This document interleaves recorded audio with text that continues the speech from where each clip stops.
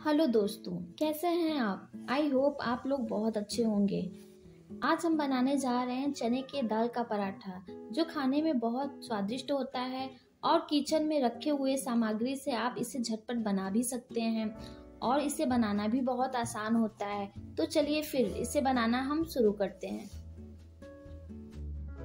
सबसे पहले हम चने के दाल को भिगोएँगे। हमने 100 ग्राम चने का दाल लिया था। इसको हमने दो घंटे पहले ही भिगो दिया था, क्योंकि चने के दाल बहुत जल्दी फूल जाते हैं। आप देख सकते हैं हमारे चने के दाल कितने अच्छे से फूल गए हैं।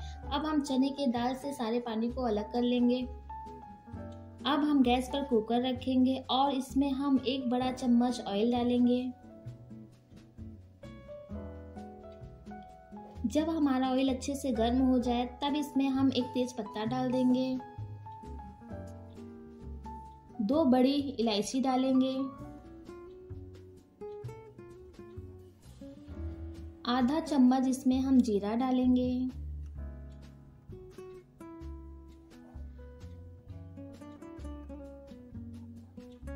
और एक पिंच इसमें हम हींग डालेंगे।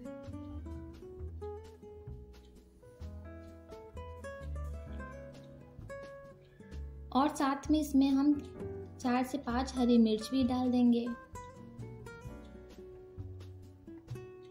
और सारी चीज़ को हम मिला लेंगे।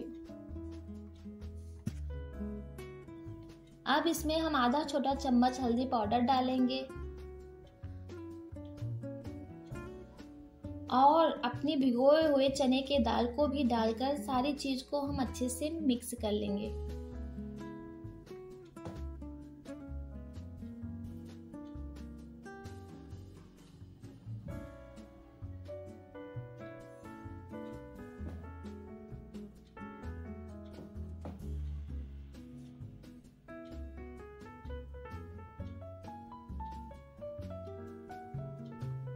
हमारे चने के दाल अच्छे से मिक्स हो गए हैं। अब इसमें हम टेस्ट के अकॉर्डिंग नमक डाल देंगे।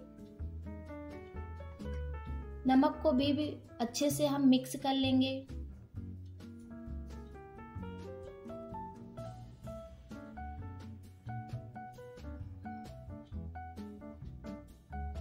अब इसमें हम बहुत थोड़ा सा पानी डालेंगे लगभग सात से आठ चम्मच। पानी हम उतना ही डालेंगे जितने में हमारा दाल पक जाए।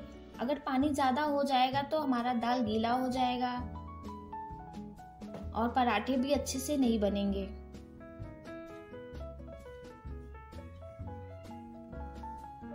अब हम कुकर को बंद करके चार से पाँच सीटी आने तक दाल को पकाएँगे।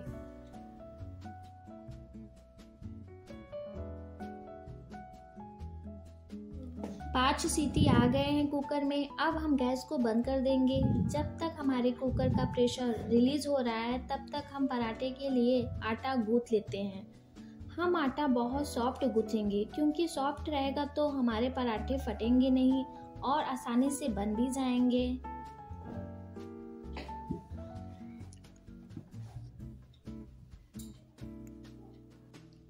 हमने आटा गूंथ लिया है।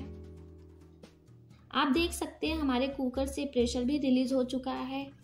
ये देखिए दाल कितने अच्छे से पक भी गए हैं।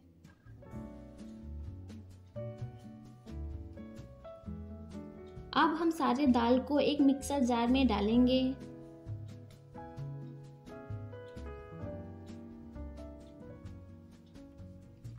और इसमें हम दो चम्मच पानी डालेंगे।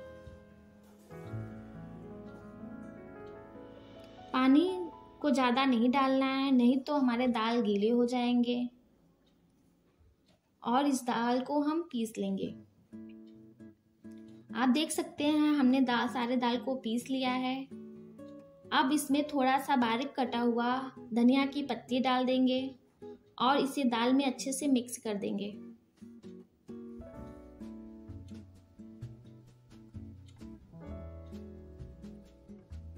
अब हम एक आटे की लोई ले लेंगे। जितना लोई हम पराठे के लिए लेते हैं, उतना ही लेंगे। और आटे की लोई को इस तरह से घुमाएँगे और एक कटोरी की तरह सेप दे देंगे।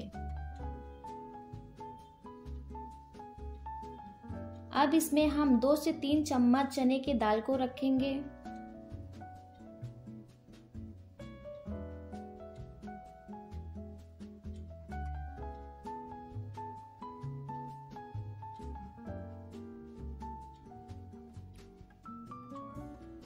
और इस तरह घुमाते हुए लोई को हम बंद कर देंगे।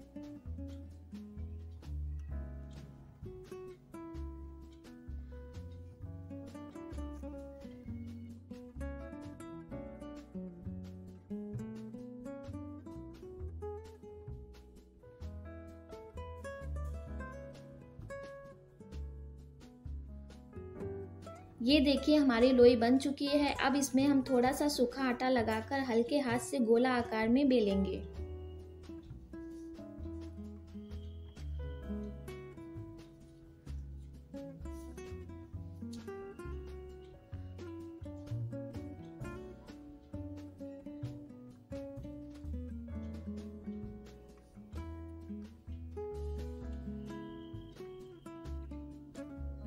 अब हमारा तवा भी गर्म हो चुका है। अब हम पराठे को तवे पे डालेंगे।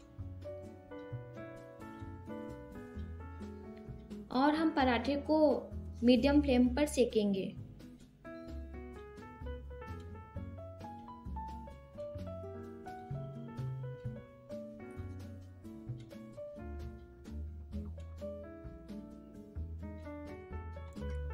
आप देख सकते हैं हमारा पराठा एक तरफ़ से सेक चुका है, अब इसे हम पलट देंगे और दोनों साइड से तेल लगाकर अच्छे से पराठे को सेक लेंगे।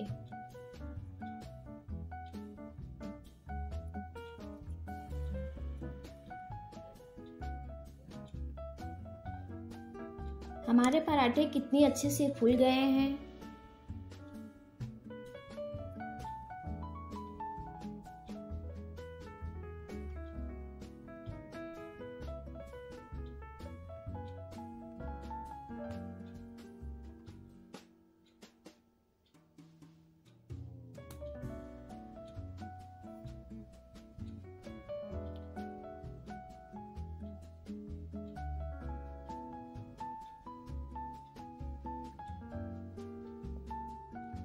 अब हमारे पराठे खाने के लिए बिल्कुल तैयार है।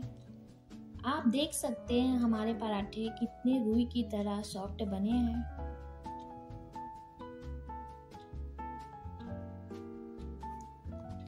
आप इसे सब्ज़ी, दही या बटर किसी भी चीज़ के साथ खा सकते हैं।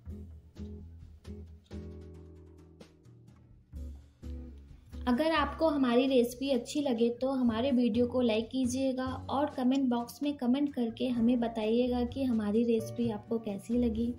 अगर आप हमारे चैनल पर नए हैं तो प्लीज़ हमारे चैनल को सब्सक्राइब करके बेल आइकन को प्रेस कर दीजिएगा ताकि आने वाली नई रेसिपी की नोटिफिकेशन आपको सबसे पहले मिले। Thank you.